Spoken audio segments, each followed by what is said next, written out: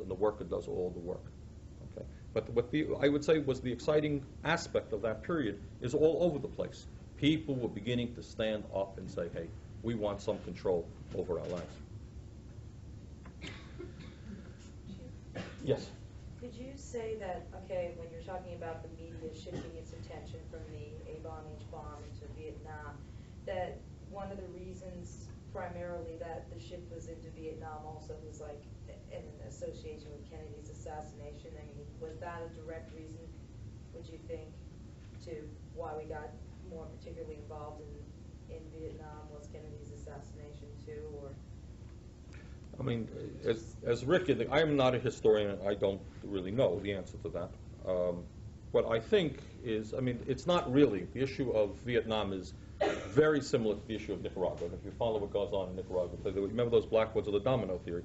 And what there was was a feeling, which exists today. I mean, I mean, you don't have to worry about reading the 60s. Just watch President Reagan on the television. You're seeing a rerun of the same same thing. There is an assumption that the United States has the right to control a certain section of the world. And if poor people, often living under oppression, rise up to demand dignity in their lives, to make a revolution, if you like, which is, of course, how this country was founded, that by definition, those people are communists and they're anti-American, and we must be opposed to them. Okay? The fear in Nicaragua is that if the Nicaraguan government is able to provide wealth for its people, there will be other revolutions in Guatemala and so among starving and hungry people.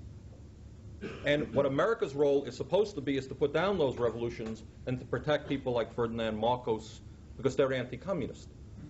Or Papa Doc Duvalier, whose country was starving to death while he ripped it off to the tune of hundreds of millions. But that's okay. That's okay. They're anti-communists.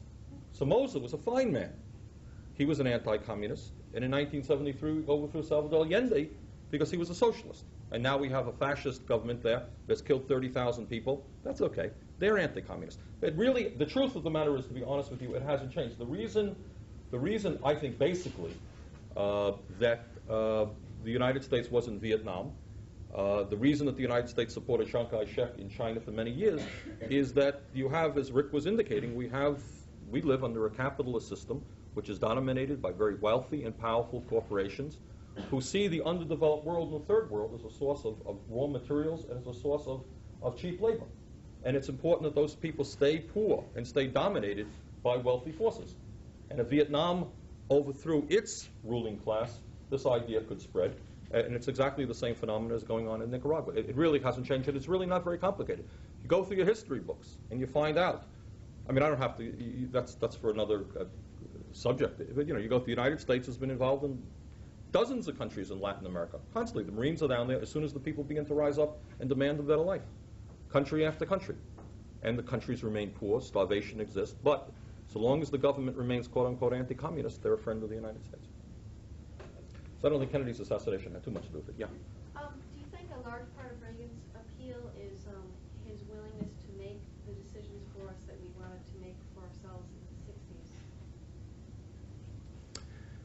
Boy, that's a tough question, and I, and I don't know.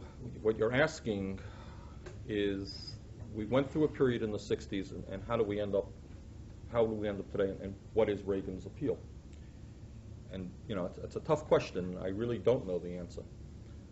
Um, I think, one thing that I can say, I think with some certainty, is that while all of this movement was taking place, while kids, in a sense, were rebelling against their parents, it was a very frightening experience people were losing control over their own kids. And you would have people clung for something that was traditional and conservative. Okay? You know, it's when, when all kinds of crazy things are going on, you want something that you can hang your hat on. Okay? And Reagan is certainly giving the people of America something, you know, it's, it's the same line that has existed for 100 years. You know, America is, we believe in freedom, we believe in God, the rest of the world is not really uh, where it's at, and we have the right to do this. It's pretty simplistic stuff. Uh, and, I, and I think there's, some of that appeal. Um, but I think the phenomenon of Reaganism would be maybe too long for now. Okay. maybe at the end of the course. I, I have a, a sort of comment about that question, which is there's another level of analysis that you could look at it, at it from. Um, And, and that would be a more, a more economic level of analysis, okay?